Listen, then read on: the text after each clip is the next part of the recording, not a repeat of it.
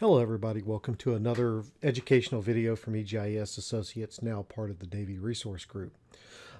It's been a while since we did any sort of comparison between ArcGIS Pro and ArcMap, and a lot has happened since the last one we did. So I wanted to take this opportunity to, to go back and revisit what has been one of our most popular videos, the comparison of ArcGIS Pro to ArcMap, and talk about some of the differences, things that have changed, and, and whatnot, so that as you look to migrate um, from ArcMap into ArcPro, that you'll have a better idea of what to expect as you, you do that. So let's talk a little bit about some of the differences between these two applications. So if you didn't see the original video I did comparing these two applications, I want to give you a little bit of history background so you don't have to go back and try to find the other video. But um, ArcMap has been around for a long time. It was first released in 1999 and as a result, while it was built on top of the line architecture at that time, uh, here in 2020, it's a well, it's not just it's just dated. Let's just put it this way.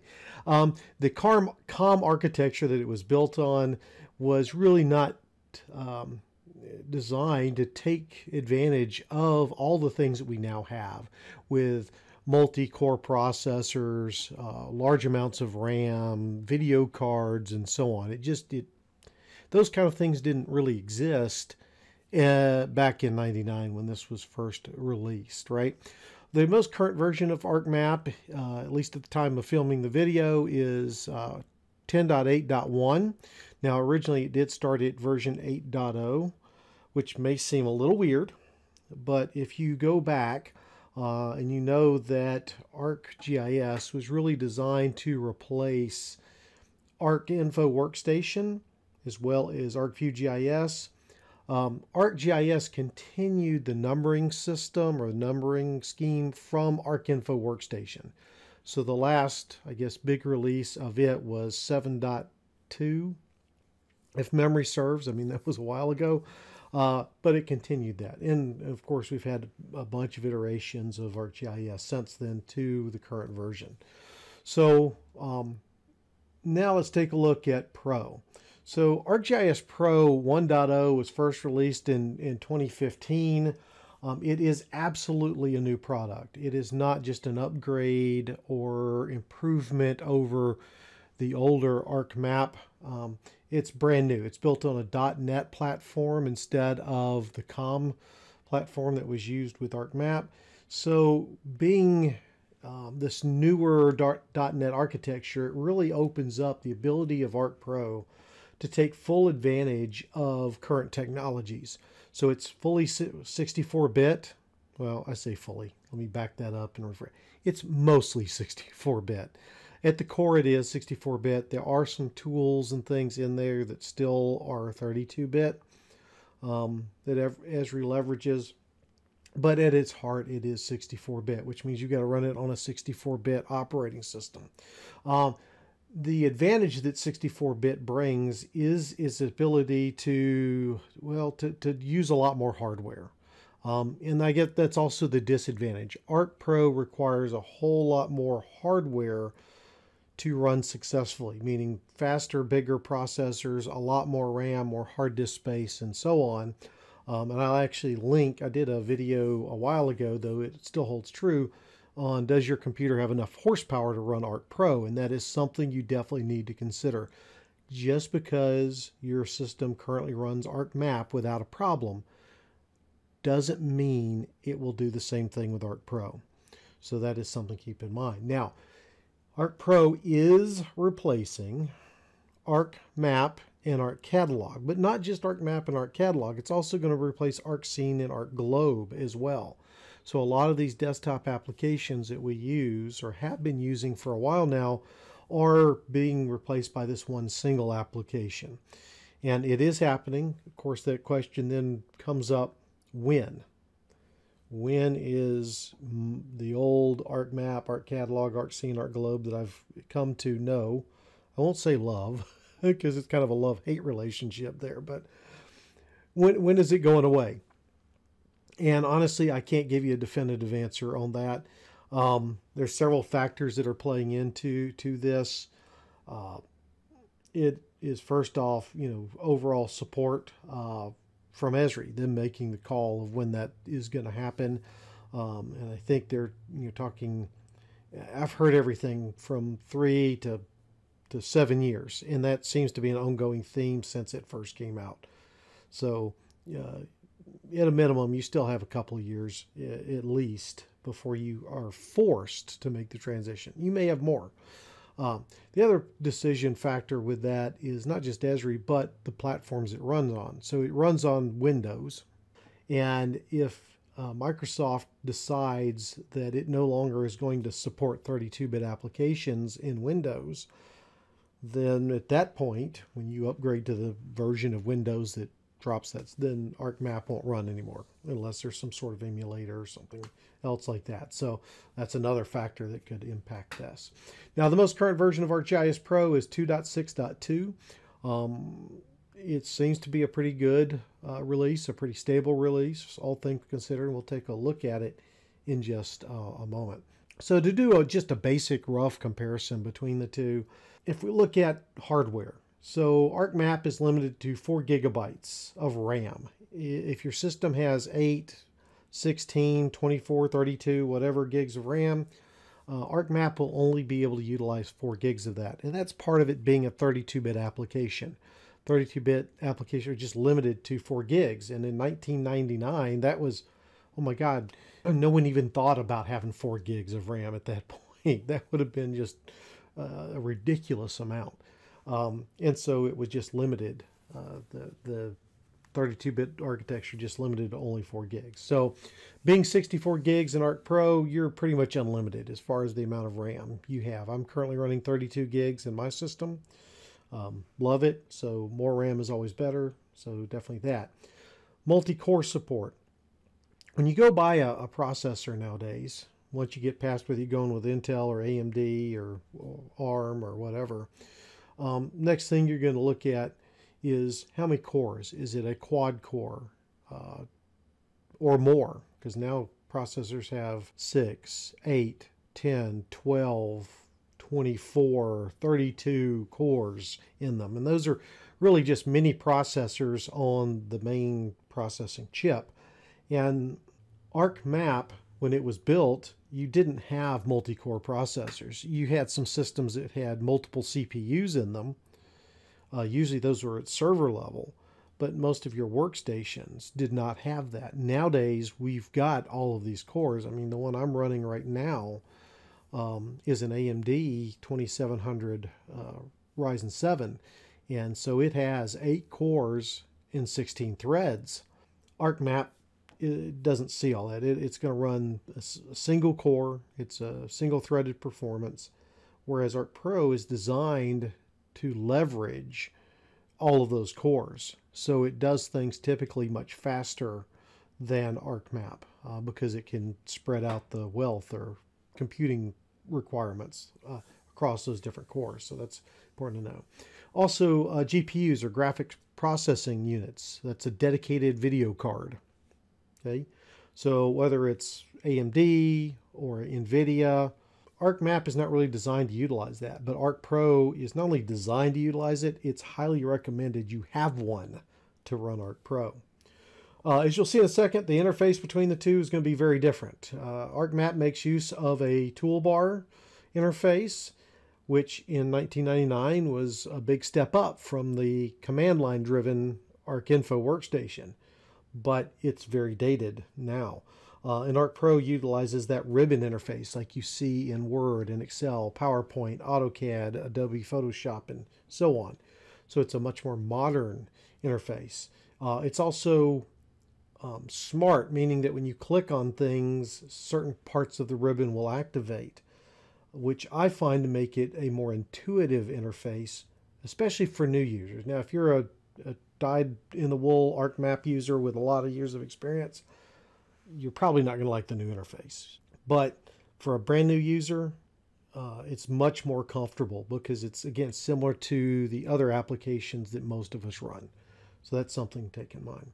Something else with Arc Pro is it supports 3D visualization of data. So ArcMap, you can't view data in 3D. You have to have the 3D Analyst extension and open ArcScene or ArcGlobe to look at data in 3D.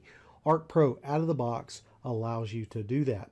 Uh, of course, both still have extensions to increase functionality. So your 3D analyst, spatial analyst, geostatistical analyst, and so on are available for both. So uh, got that.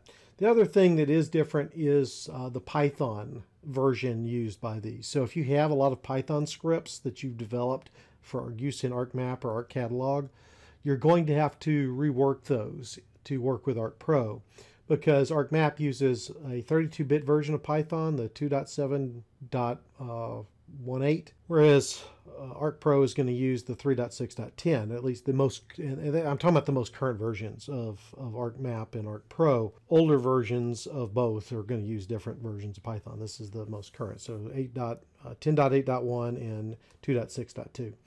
So these are important things to, to know. So let's jump over and take a quick look at these, do a side-by-side -side comparison, and see what we think. So we can jump into that real quick. Okay, so here we have Arc Pro sitting over here on the left side of the screen and Arc Map on the right side of the screen. So again, very apparent is the interface difference, right? So we've got this nice ribbon in Arc Pro and we have all these toolbars over here in Arc Map. Now there are some similarities. You still have uh, the contents. So over here in ArcMap, we call this the table of contents. In Arc Pro, we have a contents pane. They're windows in ArcMap, they're called panes in ArcPro. So to, to use the joke I've used several times in several other videos, ArcPro is full of panes. Haha. anyway, um, but they serve the same purpose, right? So here I've got my uh, data view open with this map and I can see the layers and I can turn the layers on and off. I can open, you know, and change my symbology here in ArcMap, right? And I can do the same thing over here in ArcPro. However, the difference is going to be when I select the layer here in ArcPro, notice that some tabs appeared in the ribbon. So this was I was talking about it being smart when you select different things in Arc Pro, different tabs will automatically appear. So you don't have to go hunting necessarily through toolbars or right clicking to get uh, color palettes or menus. In Pro, a lot of it's just going to appear. So if I want to change, say, the symbology for this layer, when I select it, I can go to Appearance and do it here, or if I click on the line, then it's going to open the symbology pane. I can pick from my gallery of predefined symbols in my styles or go to properties and make the change here. So um, with Arc Pro, you'll also find there's usually at least two, three, sometimes four ways to do something. Um, so that's important to note. And if I want to do labeling up here, I can click here to go to labels. Now something else with Pro that I want to show that's a good bit different, I'm going to go ahead and close that symbology pane down, is notice I've got these tabs across the top. So Arc Pro works in something called a project. So anybody that's used the old Arc View GIS application back in the 90s will remember APR files. Well, Arc Pro has revised or revamped or brought those back, I should say. And um, they're now APRX files, but the concept's the same. So in a single project file in Arc Pro, I can have multiple maps, both 2D, 3D, base maps, all can be brought in. I can have multiple database connections, like you see here. I can have multiple layouts. So whereas ArcMap, so I go back into ArcMap, I'm limited to a single layout per MXD file. In ArcPro, I can have multiple layouts and multiple maps. So, and they don't, the maps in here, I mean, depends on how you want to organize your projects, but they don't even necessarily have to be directly related. So here I have a 3D scene for the city of Trippville, which is a data set I use for training purposes. But then I also have um, a another 3D scene here that I'll open up that's for the number of GISPs, GIS certified professionals across the United States. So one's a city data set, one's a, a more national data set. Uh, again, all in a single project. So you're not limited to just the one um, layout uh, or the one uh, data location or whatnot.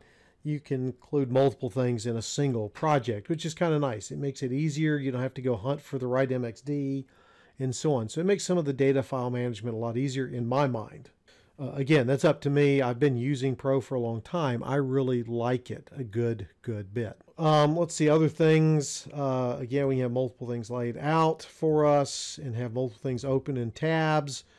Uh, you can have multiple maps open. So I've got the water system map here. I can actually undock a map or a scene and, and view them like that. Or I can still have them, whoops, free floating. So if I have multiple monitors, I could have maps open on different monitors within the same project. Go ahead and dock that back where it's in with everything else. Okay. Now the same is true, and go back to the 2D map here. If you open attribute tables, got the water lines open, let me open the hydrants. And again, there's still the right click in, in Arc Pro, just like in ArcMap. And one thing I like about um, I don't know what that was open for. Anyway, uh, notice I can pull my tables out here and they can still be in separate windows. If you want to dock them together, you can certainly do that. So they're in one window like it is in ArcMap, but you have the option in Arc Pro to keep them completely separate. So that's another nice advantage, at least in my mind, with, with Pro, and something we used to be able to do uh, in older versions of ArcMap, going back to 8.3 and 9.0 and so forth. Um, instead of having to all have them in a single window, so here's the uh, table, move it out of the way here a little bit. And then I'll open this table, right? So in this one, you know, you're limited in ArcMap of having all the tables in a single window. Now you can dock them so they're side by side in the same window, but you're still limited. All the tables have to be viewed in this one window in ArcMap. Pro, that's not a requirement. Another feature that people either love or hate with Arc Pro is you're always in an edit session. Okay by default. Now, I'm going to show you in a second a way you can change that, but there is in ArcMap, if I want to edit data, I've got to go over here to the edit toolbar, start editing data. And once I do that, then I can begin coming in here and selecting features and changing them and doing whatnot. In Pro, that's not a requirement by default. If I want to go in and say add a new feature on this water system, say a new water lateral, I just go to the Edit tab, open my Create Features pane, make sure I have waterline set as editable. Just click here, click here, draw my new line, go in and edit my attributes you know, whatever, six inch. Right? And do that without having to um, start an edit session. And then I could hit save or discard at this point. So by default in Arc Pro, you're always in an edit session. So that is something to keep in mind. Now, with the newest versions of Pro, there is an option that you can enable that would require you to start and stop editing. So if we go to project and down to options and down to editing, then we can go down uh, a little bit more. Let's see if I can, there it is. So under session, enable and disable editing from the edit tab. So if I check that box there, I'm going to go back. Now in the edit tab, you'll see this button appears, the edit button. So if this is in blue, it's ready to edit. If it's not in blue, then you can't edit. So Pro now has the ability to enable starting and stopping editing like you had in ArcMap. Uh, but by default, that's not the case. By default, you can always edit in Pro. Okay, so that's something important to, to note. Um, let's go back and we'll talk about a few other differences between the, the two here. Okay, so there are some things that Arc Pro does not do, but ArcMap does, um, and that is important to know. So one of those is geometric network. So those that work in the utility industry or with utilities rely on geometric networks quite a bit to verify connectivity across the linear network that makes up the utility, be it electric, water, sewer, gas, and so on.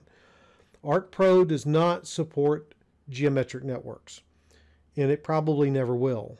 Um, what Esri has done is they've built two new things. So they have something called the utility network, which is not just something for Pro, but relies on Arc Server. Uh, I'm sorry, ArcGIS Enterprise now, get the right terminology. Um, and it's a series of a data model and tools and things that all work together uh, to build this network out. So you have proper connectivity and have all the stuff built into it. It's a pretty complex thing, uh, but it has a lot of functionality. Something they just released with um, 2.6 is something called the Trace Network. And this is really the more direct replacement for the geometric network. It currently only works in a file geodatabase, but it has the same basic functionality that you find in the geometric network. Um, I don't know why Esri is changing it. I don't get it, but whatever. Um, if you use cartographic representations, and that's that rules-based symbology, um, ArcPro doesn't support that. I'm not sure if it will or not. They really want you to start using something called Arcade, which we'll talk about in just a moment. Uh, so that's um, something to consider. If you're still using personal geodatabases, I really don't think anybody's working in coverages anymore, but uh, if you're using personal geodatabases, those MDB files, ArcPro does not support it will never support it, according to Esri, um, and can't even read it. I mean, it doesn't even know it exists. So if you're running those, you will need to port those into a file geodatabase. It's not a hard thing to do. You really ought to do it anyway because file geodatabases uh, are much more efficient. They're faster. They don't have the storage limitations and all that. The big drawback to uh, going to a file geodatabase from personal is you no longer can use Microsoft Access on the back end of it. So that's something there.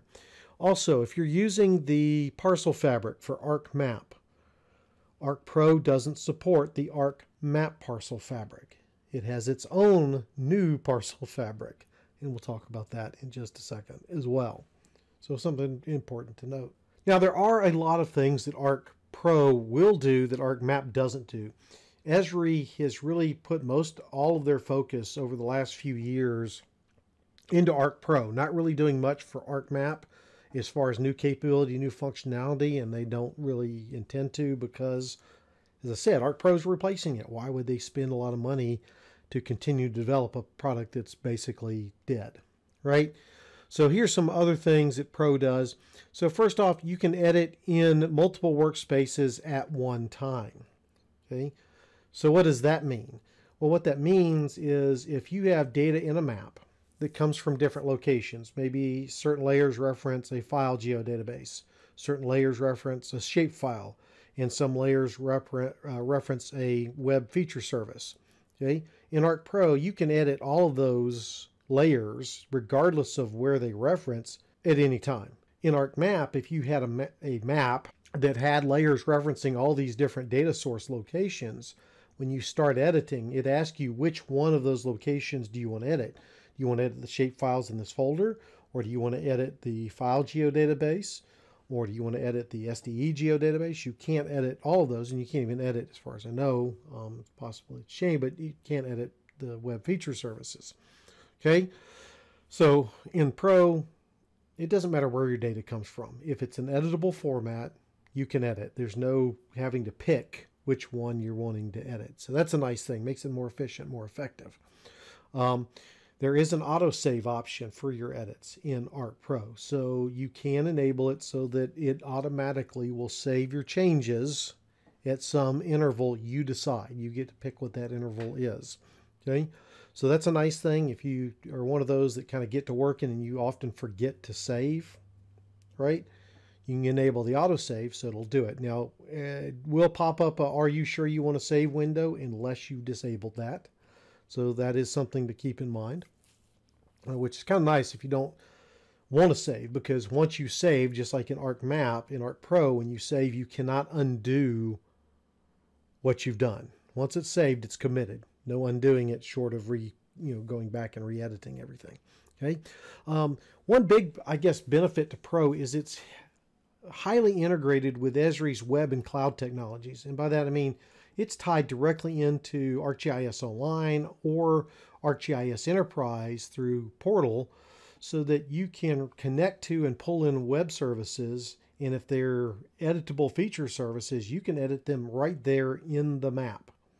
Okay, you can pull that in and just edit right there, um, which is really nice. Which means you can have people out in Collector using Collector uh, or the new um, mobile apps that Esri's coming out with out there in the field editing data, you can pull in the same web service into ArcGIS Pro. And as they're syncing those service, uh, those changes they're making the field back, you're seeing those real time. And then you can make changes to the data as well. Um, so that's really nice. Also, it allows you, if you will need to work disconnected, you can download that feature service, check it out, and work in a disconnected environment. Uh, and then sync those changes back up later when you have a connection. So that's really really uh, cool. We're doing that a lot here now with the, the Davey Resource Group and EGIS Associates uh, when we're out there working with our field crew. So we can keep tabs on what's going on, help answer questions uh, from the office, deal with issues quickly. It's, it's really a nice feature.